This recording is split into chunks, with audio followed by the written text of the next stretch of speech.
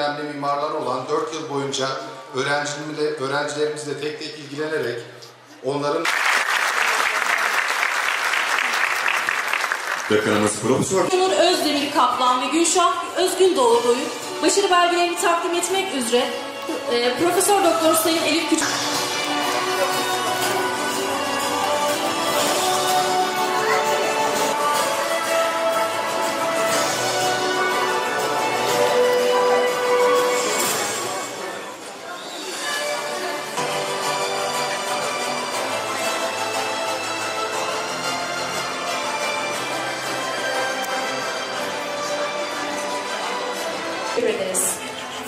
üçüncümüz Harun, Harun Subaşı şu an aramızda bulunmadığı için kendisi...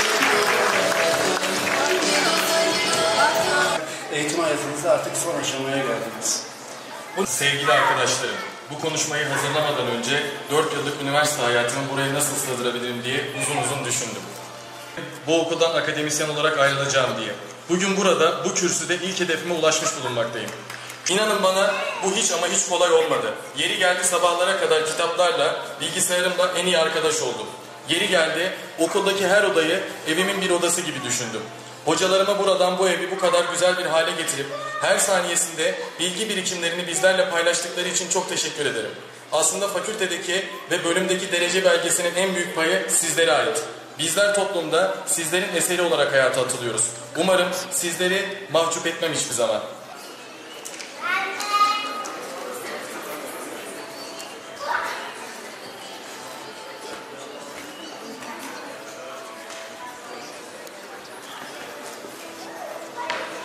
Öztürk Yardımcı Gökçenur Özdemir Kaplan diplomalarını vermek üzere Profesör Doktor Hakan Temiztürk hocamızı alkışlarınızla sahneye davet ediyorum.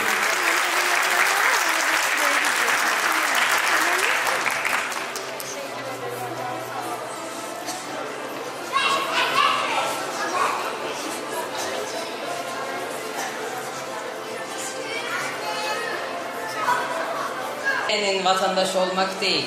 Kürt olursun ol, Fars olursun ol, Türk olursun ol. En önemli şey insanlıktır.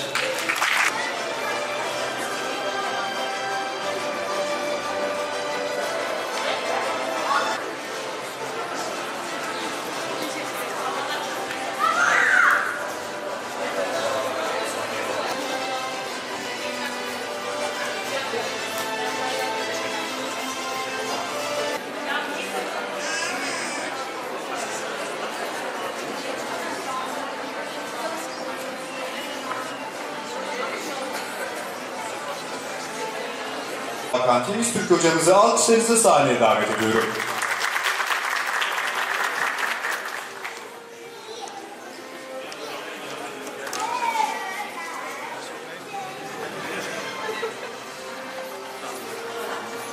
Doktor Aslı Köseoğlu hocamızı alkışlarınızla sahneye davet ediyorum.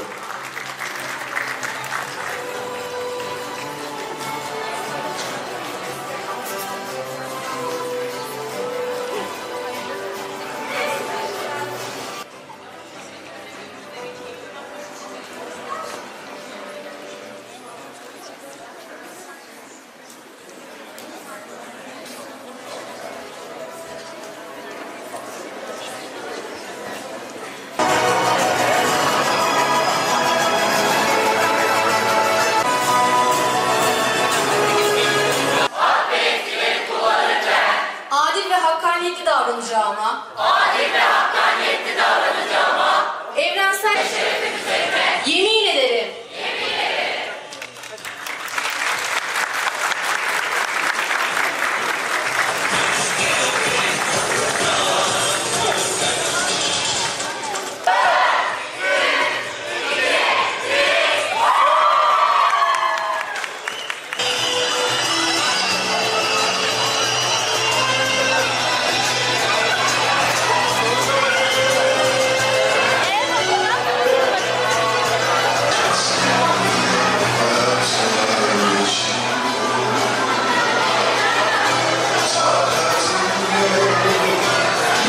gazetecilik bölümünü bitirdik. Ee, özellikle yani şu anda yaşım 40. Ee, yaş eğitimin yaşı yoktur gerçekten. Ee, şu anda e, kızım yanımda yani e, lise 2'ye gidiyor. Kendisine örnek olmak için e, tekrar bu yaşta üniversite bitirmek yani dedim bitireyim kendisine örnek olayım. Ama e, hocalarım gerçekten bu sektör yani gazetecilik özellikle e, çok şeyler kattı. Gazetecilik bölümünü severek geldim yani isteyerek geldim. Öncelikle dersleri benim çok ilgimi çekti. Hani e, birçok alanda, dalda dersleri var. Kişiyi gerçekten e, güzel bir şekilde geliştirebilecek bir bölüm. Bunun için tercih ettim ve geldiğimde de yanılmadım yani. Evet online bir süreç geçirdik e, gazetecilikte. Ama yine de olsun yani acısıyla tatlısıyla her türlü şeyiyle güzel geçirdik bu bölümü. Yani güzel arkadaşlıklarımız oldu. Yani güzel hocalarımız oldu. Ve ben tesettürlü olduğum halde hiçbir hocamdan sıkıntı yaşamadım çok şükür şimdiye kadar. İnsan olmayı başarabilmiş kişiler e, her ortamda birlikte yaşayabilirler. Yani bunu düşünüyorum. Yani hepimiz birlikte yaşayabiliriz. Yeri gelir tesettürlüsü, yeri gelir açığı e, yaşayabiliriz birlikte. Bu şekilde yani seviyorum bölümümü, ilerletmek de istiyorum. İnşallah geliştiririm bu noktada kendimi. İşlere de yani bu bölümü tercih etmelerini söylerim. E, gelin, görün. E, hareketli bir bölüm, sizi gerçekten hareketlen, hareketlendirecek bir bölüm. E, dersleriyle olsun, hocalarıyla olsun, eğitim kadrosuyla olsun. Gerçekten bir şeyler öğrenebilirsiniz, kendinizi geliştirebilirsiniz. Her alanda bilgi sahibi olabilirsiniz. Üç çocuk annesi, çalışan bir anneyim, sağlık çalışanıyım. Şöyle, e, ben yoğun çalışan bir anneyim. Ev hayatımda tabii üç tane çocuğum olduğu için okulları, e, beslenmeleri, ev işleri tabii ki evin içinde de çok yoğunum. Fakat çalışma hayatım da çok yoğun. Bildiğiniz gibi pandemi süreci atlattık bundan 2-3 sene önce. Bir sağlık çalışanı olarak tabii ki bizim yoğunluğumuz daha çok artmış oldu. Bu şekilde yani genellikle yoğun bir anneyim ben. Çocukların eğitimi hususunda da o şekilde. Tabii ki zor oldu. Okulla beraber yürütmek epey zor oldu. Ee, çünkü hem okula gelmek zorunda kaldım. Örgün öğretim öğrencisiyim. Ee, hem de e, evi yürütmek zorunda kaldım. Nöbetlerimi ayarlamak durumunda kaldım. Ee, o şekilde. Şöyle, ben aslında üniversite sınavına girmeden önce gazetecilik okumak için üniversite sınavına girdim. Yani daha öncesinde zaten araştırmıştım gazetecilik bölümünü. Sosyoloji, siyaset, e, felsefe, e, basın tarihi gibi konulara merakım vardı açıkçası. E, ben kendim hemşire olduğum için normalde sayısalcıyım. E, sözelle ilgili hiçbir ders işlememiştik. Benim biraz e, ilgimi çekti açıkçası ve çocuklar okuyorlar maalesef.